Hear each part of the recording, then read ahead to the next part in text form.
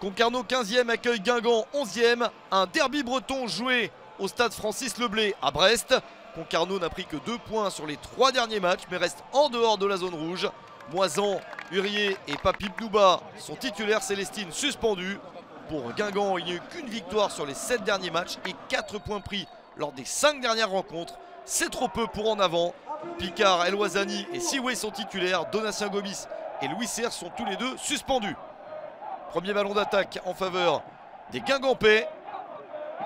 La première possibilité d'être dangereux avec cette balle de Marronnier dans la surface et la reprise à bout portant d'Amin El Ouazani. 1-0 pour Guingamp dès le début du match, la première minute de la rencontre. Quelle efficacité pour les Guingampais. Le long ballon de Marronnier trouve El Ouazani pour son huitième but de la saison. S'ensuit ce contact et un pénalty en faveur de Concarneau. Sauvé par Enzo Basilio. Il est parti du bon côté et empêche l'égalisation de Concarneau dans le temps additionnel de la première période. Papib Nouba n'a pas réussi à marquer. Dommage pour l'international mauritanien. Guingamp mène 1-0 à la mi-temps. Les Guingampais sont donc bien lancés avec un but marqué et un penalty sauvé. Ils essayent d'enchaîner au retour du vestiaire, notamment en profitant de cette erreur de Concarneau. Une grosse bêtise punie par Amin El Ouazani. Juste avant l'heure de jeu, 58e minute exactement, ça fait 2 à 0 pour Guingamp. Le doublé pour El Ouazani, le 9e but pour lui. La situation est idéale. Une petite glissade, une passe trop molle. Et le but d'El Ouazani. La mission devient très compliquée pour Concarneau.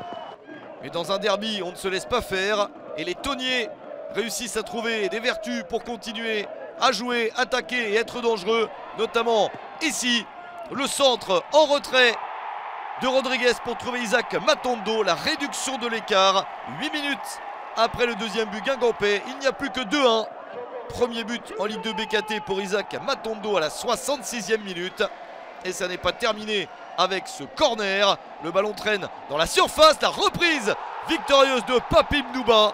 86e minute, l'égalisation de Concarneau de partout. L'attaquant mauritanien a été mis en échec par Basilio sur le penalty de la fin de la première période. Mais il y a cru jusqu'au bout pour égaliser. On pense alors que Concarneau a réussi à arracher le point du nul, mais Guingamp repart à l'attaque et réussit à marquer le but de la gagne grâce au centre de Civis et la reprise à bout portant de Baptiste Guillaume. 3 buts à 2 pour Guingamp dans le temps additionnel de la rencontre. Septième but de la saison pour Baptiste Guillaume. Derby breton très disputé qui voit au final Guingamp s'imposer 3 buts à 2.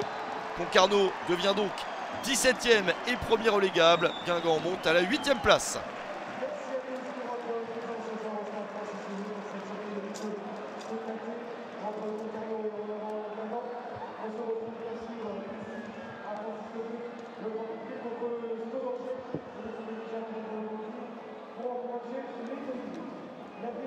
apporter du talent de la pratique, et surtout soyez prudents.